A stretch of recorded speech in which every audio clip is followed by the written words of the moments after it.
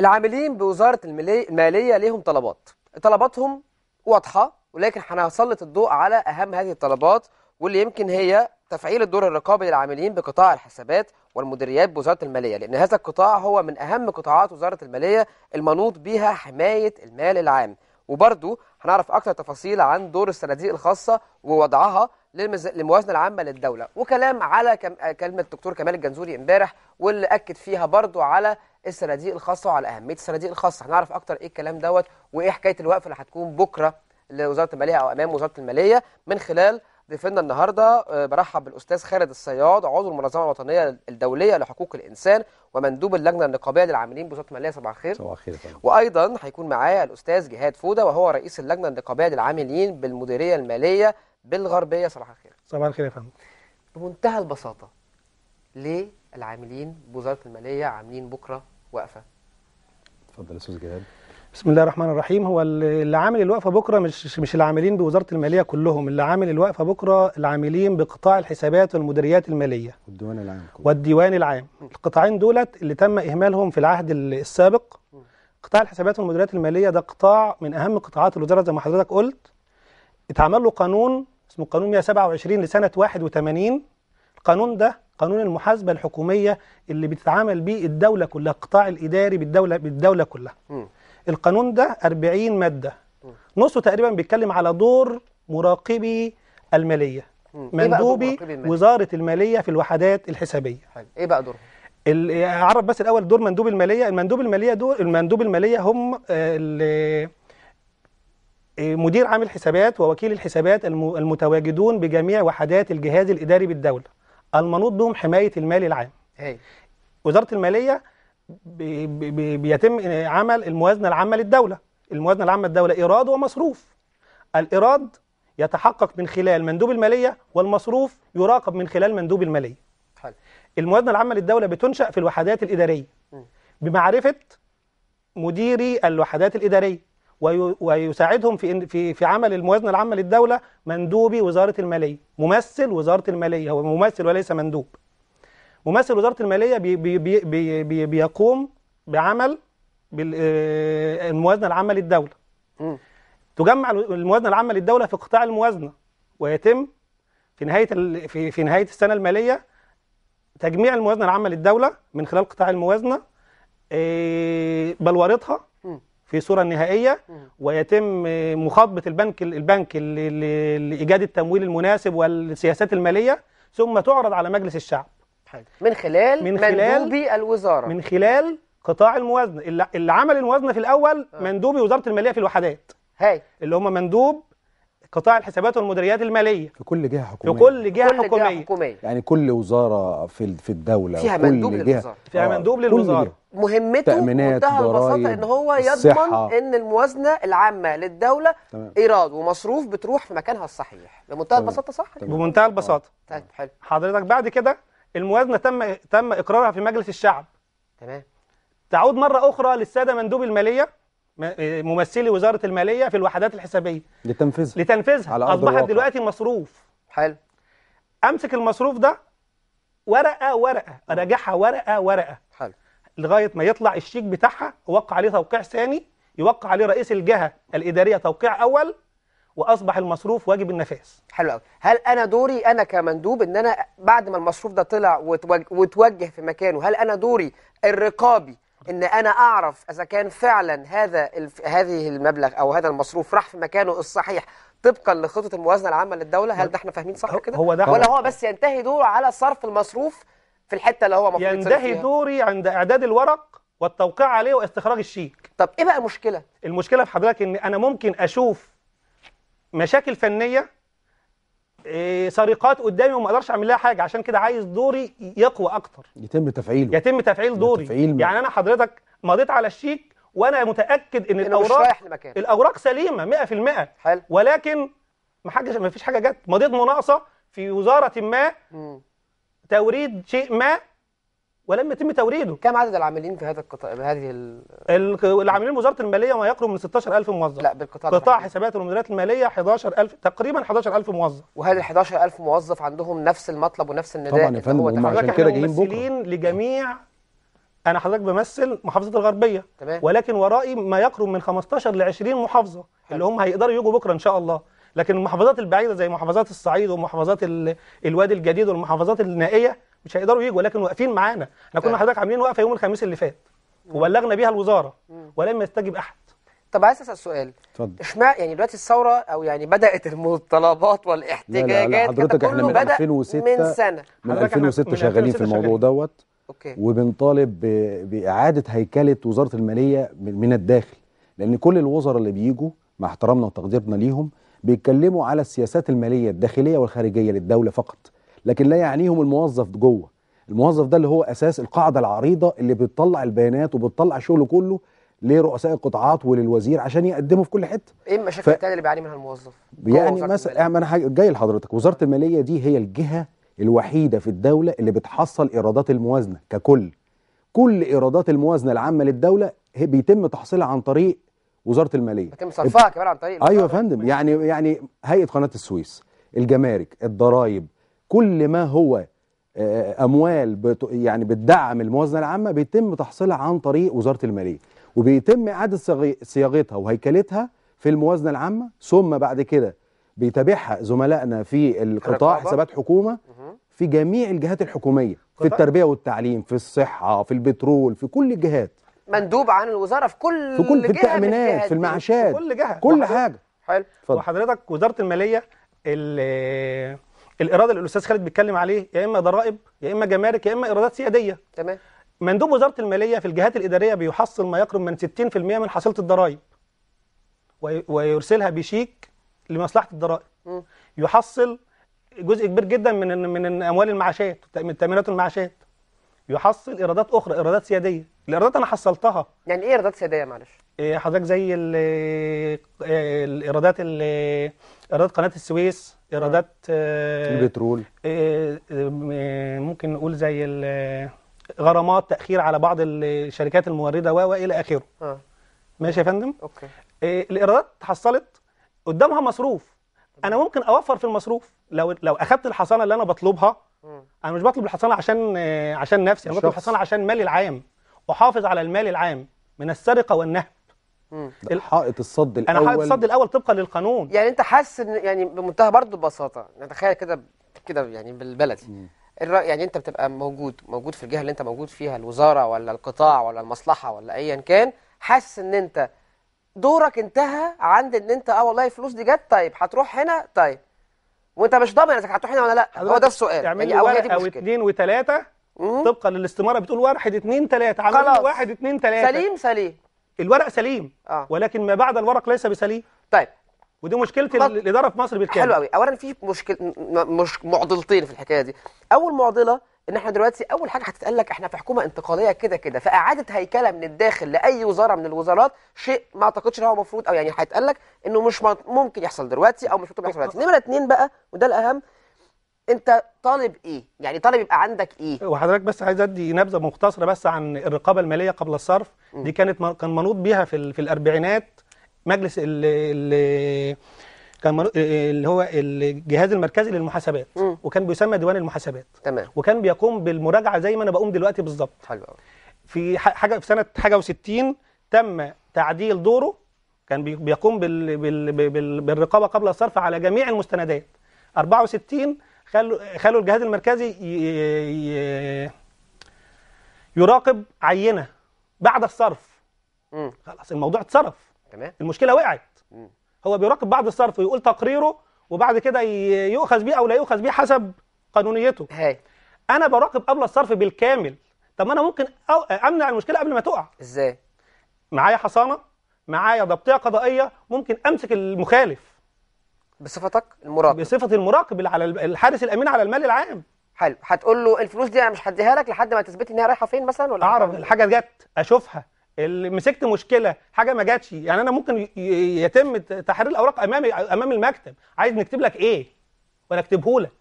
وحضرتك هي هي وزارة المالية دي وزارة؟ كبيرة طيب مش بس أسأل سؤال معلش. فكرة. اللي إحنا في مرحلة انتقالية أو دي حكومة تسيير بيقولوا تسيير أعمال. حضرتك بس ف- أكمل النقطة دي. اتفضل. مجلس الشعب هو الدو- المنوط به حماية المال العام. تمام. ثم وزارة المالية الرقابة على المال العام. مجلس الشعب ووزارة المالية. مجلس الشعب أنشأ الجهاز المركزي للمحاسبات للرقابة بعد الصرف. أيوة. وزارة المالية أنشأت قطاع الحسابات والمديريات المالية للرقابة قبل الصرف. حلو. طب ما بنفعلش دورنا ليه؟ أنا ممكن دوري أنا أطالب دلوقتي من خلال المنبر اللي إحنا قاعدين عليه ده إن يتم نقل صلاحياتنا لمجلس الشعب. يبقى رقابة قبل الصرف لمجلس الشعب. ورقابة مج... بعد الصرف لمجلس الشعب. عشان يبقى عندي السلطة اللي أقدر بيها أحمي المال العام. مم. أنا حضرتك الموازنه بتاعت الدولة ما يقرب من 350 مليار جنيه. معظمها معظمها على مصروفات الباب الأول والباب الثاني يتم آه، إهداره؟ اهداره طيب. في صورة مناقصات ومزايدات لا يأتي منها شيء. هو زي ما إحنا قلنا قبل كده إن وزارة المالية وزاره وزارة الدولة هي هي اللي بت بت بتلم إيرادات الدولة كلها إيرادات الموازنة العامة للدولة. مظبوط. وبتعمل إعادة صياغة ليها عن من خلال الموازنة. وبعد كده بيتم آه، صرفها عن طريق آه، آه، زملائنا في قطاع حسابات حكومة ومديريه مالية. بخلاف ذلك إحنا عندنا برضو جهات حكومية متميزة عندنا زي الهيئة العامة للخدمات الحكومية. دي المنوط بيها اللي هي بت كل ما هتشتريه ال- الحكومة من مناقصات و و بيتم عن طريق الهيئة العامة للخدمات الحكومية حتى المزايدات اللي هي محصلات ال- الجمارك مصادرات الجمارك وما وما, وما خلافه بيتم بيعه عن طريق الهيئة العامة للخدمات الحكومية.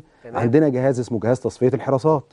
الجهاز ده كل من هو أخذ حكم قضائي آه، مؤقت أو نهائي بيتم إدارته عن طريق جهاز تصفية الحراسات. ده غير الضرائب العامة والعقارية و و وما إلى ذلك. طيب إحنا بنطالب بقى يا فندم إيه؟ مفعل؟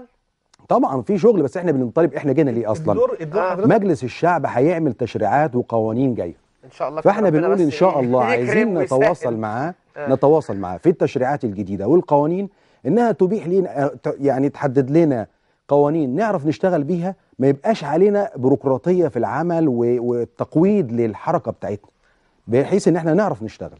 وحضرتك بالنسبة لقطاع حسابات المديريات المالية قلنا حضرتك إن هو بي بي بي بيعد الموازنة في الأول. وتروح الموازنة مجلس الشعب وترجع تاني تبقى ميزانية اعتبارا من 1 7 يساعد في يراقب تنفيذ المو- الم- الموازن- الموازنة اللي أصبحت من اسمها ميزانية اعتبارا من 1 7 بقت مبلغ من المال بيتوزع وراقبه واحدة واحدة. حلو.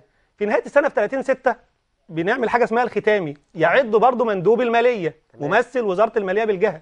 يعد الختامي بتاع الدو... بتاع الدولة يرسل إلى. القطاع الختامي بوزارة المالية يتم تجميعه وإرساله إلى مجلس الشعب مرة أخرى تاني ليصبح الختامي. وي... ويناقش الختامي ونشوف اتصرفت الموازنة اتصرفت في في في موضعها أو لم أو لم تصرف أكتر قطاع بهذا الدور. تمام. قطاع بهذا الدور. حلو. ألا يستحق نظرة؟ حلو. بيص- النظرة دي بقى أنا عايز أعرف دلوقتي. إيه اولا عايز أعرف من حكم عملكم كام؟ 11000 آه، أو تقريبا 11000 11000 آه. آه، إيه أكتر القطاعات؟ بمنتهى الصراحه ما هنتكلم بقى. أنتوا بتطالبوا بالطلب ده. إيه أكتر القطاعات اللي أنتوا شايفين إن هي محتاجة إن يفعل فيها هذا ال- العداله الاجتماعية ما بين القطاعات وبعضها. حضرتك- لا أنا بتكلم أنتوا النهارده مندوبين ومراقبين في كل الجهات الإدارية بالدولة. المهمة في البلد. تمام. الوزارات والمصالح والكلام ده الدفاع كله. والنيابات كله. كله. التربية والتعليم إيه أكتر والصحة القطاعات اللي فيها أنتوا حاسين إن هي محتاجة يتفعل دوركم الرقابي فيها؟ هجاوب حضرتك على الموضوع ده بس هقول كلمة صغيرة. القطاع بتاعنا من ضمن كام قطاع في الوزارة قطاع الموازنة قطاع التمويل قطاع حس... قطاع الأمانة العامة أيوة. قطاع مكتب مكتب وزير رئيس المالية قطاع القطاعات آه، ماشي آه، آه. كذا قطاع القطاع اللي بيش... اللي بي... بيمد جميع القطاعات بالداتا هو قطاع. حسابات المديريات المالية طبيعي القطاع الوحيد المظلوم اللي ما بياخدش. مش هو بس والأمانة العامة. مش حلو. الامانه العامة. ما بيتكلمش على موضوع مادي. آه، إحنا ما بندورش الوقفه أنتوا بتاعتنا بكرة. دور وظيفي محترم علشان خاطر تقدروا تمارسوا مهامكم التشريعات يا فندم والقوانين الجديدة والقوانين، من ماشي. خلال مجلس إيه هي أكتر القطاعات؟ أنا سؤالي واضح دلوقتي. خليكم صراحة. آه. إيه أكتر ما فيش حد هي- يعني مش حد هيقول لكم أنتوا بتعملوا إيه. إيه أكتر القطاعات اللي أنتوا شايفين إن هي محتاجة إن يتفعل دوركم الرقابي فيها بحيث إن ما يحصلش فيها إهدار للمال العام؟ كل القطاعات اللي شغالة تبع تبع الحكومة يعني هي- هو ال- ال- معظم القطاعات معظم القطاعات أنا حضرتك أنا مشاكل. اشتغلت في الصحة اشتغلت في الأمن اشتغلت في في الري اشتغلت في ال- في الجامعة كل معظم القطاعات مش هقول كل القطاعات عشان أبقى منصف معظم القطاعات فيها مشاكل فيها مشاكل إدارة السويس. المال. مشاكل راجعة مشاكل تنظيمية يعني مشاكل إن هم ما عندهمش نظام ولا مشاكل اللي هي الفلوس هتطلع ما بتروحش في الأماكن اللي المفروض فندم، تروح فيها من الآخر لا، اللوائح الداخلية اللي بت بت بت بتؤدي إلى صرف الموازنة العامة للدولة في لوائح داخليه آه. لا يتم تطبيقها ووضعت في ووضعت في ال- في العهد البائد لزرع الكراهية والبغضاء بين بين الموظفين وبعضهم وبعض. الموظف الصغير ياخد جنيه الموظف الكبير ياخد 100 الأكبر خالص ياخد ألافات ودايما بيبقى فيه تمييز للقطاع بتاع قطاع مكتب الوزير بيميز دايما عن بقيه القطاعات ده دايما. في جميع القطاعات. آه. آه مع إن القطاعات التانية يمكن هي اللي بتديله الداتا والمعلومة وبتديله كل حاجة بناء عليها هو بيشتغل. الوقفة بكرة يا فندم هي ليه. بخصوص إيه. إحنا طبعا آه، يعني بما قالوا أخويا جهاد ال- العاملين داخل الوزارة في القطاعات عندهم حق- يعني إحساس بإن صندوق رعاية العاملين مش دوره مش مفعل تمام. موجود آه، بيلم فلوس من الناس وفي آخرة ال- الموضوع ما بيديش للناس الرعاية الطبية الكافية آه،. آه ده من الاهتمام ضمن ما- يعني ده من ضمن ما هو ده المطلب. الأساسي. إحنا آه، بكرة مش. رايحين على فكرة إحنا لزيادة كنا كل ده كل فقرة فاهمين المطلب الأساسي هو تفعيل دور القطاع. لا، لا، لا،. لا، في الوقت- في سبع طلبات. حضرتك. طب نقولهم بقى عشان خلاص قربنا نخلص فنقول السبع طلبات. سبع طلبات. تحقيق العدالة بين قطاعات الوزارة المختلفة عن طريق المساواة. إلغاء كافة الاستثناءات الموجودة بالوزارة الاستثناءات دي مصيبة كبيرة. مم. خلينا في- أنا- سريعا سريع. إيه إيه رقم ثلاثة الاستغناء عن كافة المستشارين المتواجدين بالوزارة معظمهم مش هقول كلهم. رقم ثلاثة تفعيل ليه؟ قرار معلش سريعا ليه؟ ما لهمش دور أنت شايف إن ما هم لهمش ما دور. لهمش ما دور؟ لهمش دور بال... ب- ب- ما لهمش دور بالمرة. وبيتقاضوا فلوس وبالتالي ده بيأثر على ميزانية على. الدولة بي- بيتقاضوا ما يقرب من من 5 المالية ل بس، 10 مليار. جنيه سنويا. طيب إيه تاني؟ مش في المالية بس ده في جميع الوزارات. تمام. رقم أربعة تفعيل قرار وزير المالية الأسبق بحل مجلس إدارة الصندوق اللي بيتكلم عليه أخونا الأستاذ خالد. رقم خمسة الرعاية الصحية والاجتماعية لكافة ده القطاعات تفعيل قرار الوزير الأسبق يعني ده قرار قرار طلع واتحط في دكتور الاداره رضوان. قراره كان؟ آه، حل, حل- مجلس إدارة الصندوق وعمله بالانتخاب. الصندوق ده حضرتك ده فلوس الناس دي كلها ما بنستنفعش العاملين منه. بالوزارة. أيضا أوكي. الرعاية ليه ما بنستنفعش منه؟ الا في حالات الوفاة. أو الخروج على المعاش فندم، فقط مع ان غير. المفروض يكون في رعايه بس ده على فكرة المشكلة دي في كل قطاع كل وزارات تقريبا. ما إحنا في حاجات تانية العدالة المشكلة. الاجتماعية والمساواة ما بين القطاعات. آه، وزير المالية نفسه سئل مره من المرات الدكتور سمير رضوان سئل مره من المرات. آه، إيه الجهاز الرقابي عندك؟ قال قطاع الموازنة.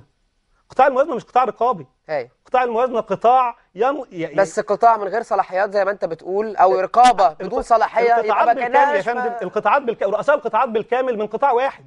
من قطاع الموازنة. أي جهة إدارية ممكن. رئيس القطاع بتاعنا مع إنه جاي لنا من قطاع الموازنة لكن راجل محترم جدا ماشي عشان بدأ يحس بينا وعرف دورنا. هينضم ليكم. وبدأ ينضم لينا بدأت الحرب الشعواء عليه من ال من ال من ال من المستفيدين. من المستفيدين. طبيعي. الوضع على ما هو عليه. طب نكمل بقى سريعا. إيه، رقم خمسة الرعاية الصحية والاجتماعية. رقم ستة إعطاء ممثلي الو- وزارة المالية الحصانة أيوه.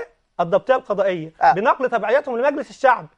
إنشاء في هيئة حاجة. مستقلة إحنا ماشي، دلوقتي في إن شاء الله هنعمل بس الطلب السابع. معلش الطلب السابع. التدريب. الفعال فندم؟ التدريب التدريب الفعال للكوادر لجميع الجديدة. ممثلي وزارة المالية عشان نخلق منهم كوادر محترمة تطلع بعد كده تبقى بص هي حضرتك إحنا ممكن نجيب وزير متميز جدا وأكاديمي ممتاز وإداري متفوق لكن من تحت القاعدة العريضة الناس نفسها لازم إعادة تأهيلها وهيكلتها وهذا في كل و... الوزارات و... ما إحنا عندنا استعداد ده الدور النقابي بقى معلش إذن لي في حاجة الدور النقابي الدور. النقابي مهم جدا الوزير اللي بيجي أنا هسيب لحضرتك الفرصة بس عايز أقول الحتة دي. قبل ما الأستاذ يقفل يعني اتفضل الدور النقابي طبعا كل وزير بيجي يدور على السياسات المالية الداخلية والخارجية للدولة لكن هو مش فاضي وقته ومجهوداته ما تنفعش إن هو يشوف ال- الناس اللي شغالة لازم يجي على سيستم إحنا بقى الدور النقابي بقى الدور. النقابي هو عمل. إن هو يعمل توعية ثقافية وعلمية وتثقيفية ورعاية طبية للعاملين مفهوم. بحيث إن هو يجهز الناس دي كلها. تعليق سريع يا فندم أنا أخيرا بوجه بس آه، كلمتي للسيد رئيس مجلس الوزراء وللسيد وزير المالية. آه، اللي اللي عارف دورنا السيد وزير المالية لأنه من من قطاع من من الوزارة نفسها. عارف دورنا وبيحاول إنكاره بسبب المستفيدين الموجودين دلوقتي. مم. آه، القطاع ده ده قطاع كلام كبير قوي القطاع ده قطاع هام جدا. جدا جدا. المفروض يتم تحويله ماشي. لهيئة تبع مجلس قطاع الشعب. ال- ال- هيوفر بعيد عن الوزارة خالص. حضرتك بدل ما أجي في آخر السنة أصرف الفلوس بسبب إن الرئيس الجهة عايزني اصرفها وخلاص في أي حاجة وممكن من عشان تتقفل؟ فلوس موجودة أصرفها في أي حاجة. طب أنا ممكن أوفرها وأرجعها تاني للميزانية الجديدة. كلام معقول. أنا كلام معقول بس حضرتك لازم نختم جهاد لازم نختم في آه. في إن شاء الله في اتحاد لمحاربة الفساد داخل الدولة كلها أيوة. متبنيه الأستاذ الدكتور آه، آه، طارق عبد العال حماد عميد كلية عين شمس أيوة. ورئيس المنظمة الوطنية مش بس وزارة. المالية لا ده هو على مستوى الوزارات. الحكومة حلو قوي هاي وفي إن شاء الله منظمات حقوقية وأساتذة جامعة ودكاترة في الجامعة بالتعاون مع زمايلنا في وزارة المالية وإحنا طالبين طبعا مجلس الشعب يدعم هذا الاتحاد لمحاربة الفساد المالي والإداري على مستوى الدولة ككل ومعانا مجلس الشعب كتير قوي طيب ربنا إحنا إحنا مكلفين يا. فندم إحنا مكلفين بهذا الأمر إحنا. بس عايزين الإطار الشرعي يعني إحنا هننشئ الاتحاد لكن عايزين دعم من رئاسة الوزراء. ومن مجلس الشعب ماشي. ويمكن كمان الدكتور كمال الجنزوري آه، يعني نبه امبارح إن في إن شاء الله في حاجة لمحاربة الفساد. إن شاء الله بإذن الله. أستاذ خالد الصياد عضو المنظمة الوطنية الدولية لحقوق الإنسان ومندوب اللجنة النقابية للعاملين بوزارة المالية. بنشكرك شكرا جزيلا. وأيضا الأستاذ جهاد فودة رئيس اللجنة النقابية للعاملين بالمديرية المالية بالغربية. بنشكركم شكرا جزيلا. شكرا يا فندم. الكلام على فكرة على موضوع الفساد دوت مهم جدا بس ده يعني هو ليه ممكن فقرة تانية. إحنا دلوقتي من بداية- تحديدا بنتكلم على وزارة المالية وعلى الاحتجاج بكرة أو الوقفة الاحتجاجية. بكرة هيكون معاهم أكيد بنتابع إيه اللي إن شاء هيحصل. الله مستمرة الو- الوقفة مستمرة. إن شاء الله. أن تت- تتم مطالبنا. لو شرعية تتم. مش شرعية يجوا يقابلونا يقولوا لنا مش شرعية ليه؟ ماشي. إن شاء الله ربنا محدش هيروح بيته إلا لما تنفذ مطالبنا كاملة. واضح الكلام. فيهاش نقاش. واضح الكلام. مشاهدينا هنروح لفاصل هنشوف إيه اللي هيحصل في وزارة المالية بكرة وهنرجع تاني. خليكم معانا. شكرا.